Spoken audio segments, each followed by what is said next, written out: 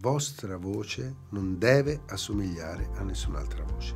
Meglio ancora, come la vostra voce non esiste un'altra uguale. Questa è una consapevolezza della quale dovete essere carichi.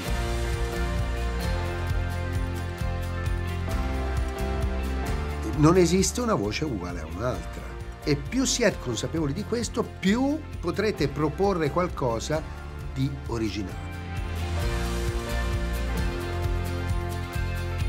Spesso noi ci innamoriamo di voci che non sono corrette, non lavorano correttamente.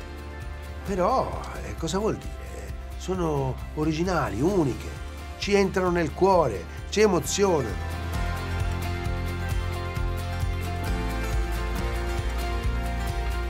Sono Vittorio Matteucci e vi aspetto su Master of Performing Arts.